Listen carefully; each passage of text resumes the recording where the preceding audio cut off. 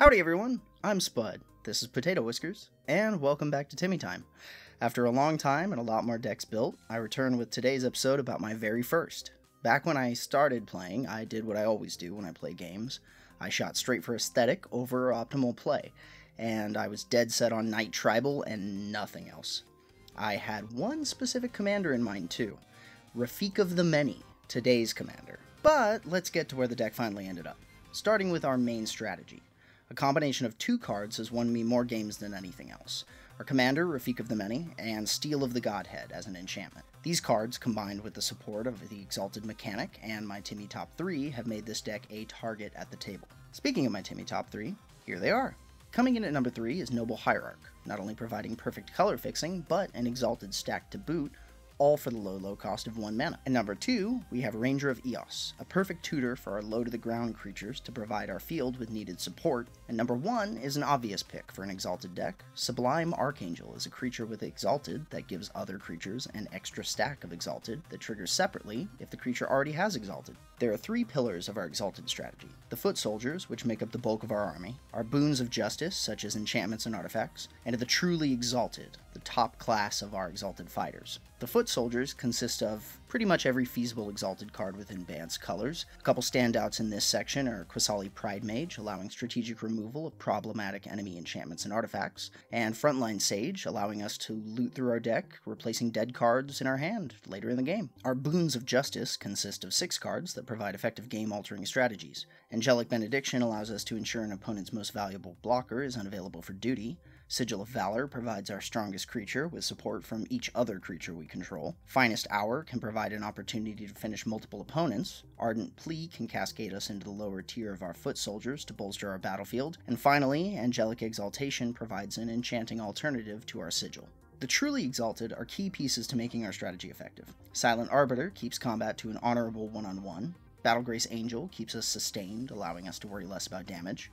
Guiltspire Avenger acts as a deterrent for attacks as long as he remains untapped. Stoic Angel prevents any opponents with a go wide strategy from doing just that. And lastly, and most importantly, Sovereigns of Lost Alara can tutor out our ace in the hole.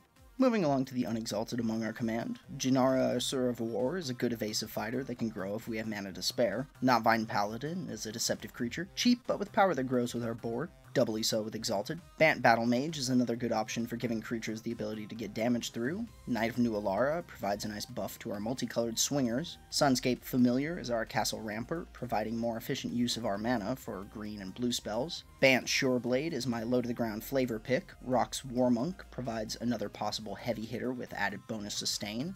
Angel's Herald gives us easier access to one of our most useful creatures, Empyrial Archangel. And we're also packing a one man army in the form of Mirror Sigil Sergeant, using any of our blue permanents to create feasible go wide options.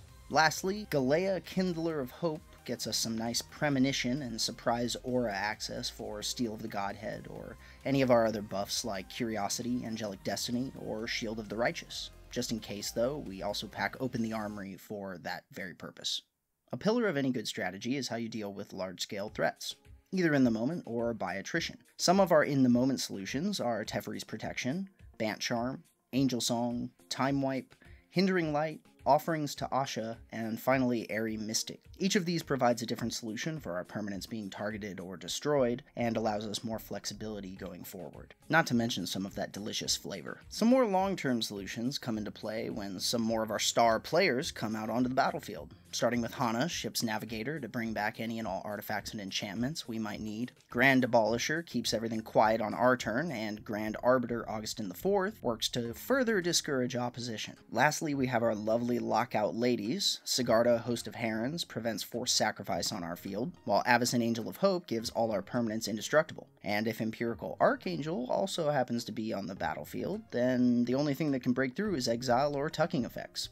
Personally, I use the flavorful Wargate to tutor out whichever angel is most useful at the time. And one last way we can deny our opponents is Elspeth Knight Errant. With her ultimate ability, all our permanents get indestructible from an emblem, which are notoriously hard to remove. Last, as always, is the March of the Lands. Some standouts as they line up are Cathedral of War, Tolaria West, Rogue's Passage, and Alchemist's Refuge. I've personally been more lax about my lands in most of my newer decks, running more basics than anything else, but that might just be because I'm too cheap to buy good lands and too lazy to make proxies. Thank you so much for watching this episode of Timmy Time. Chat with me in the comments below, give me some constructive criticism or some deconstructive criticism, whichever you choose, or take a closer look at the deck list via the link in the description, and I'll see you guys in the next one.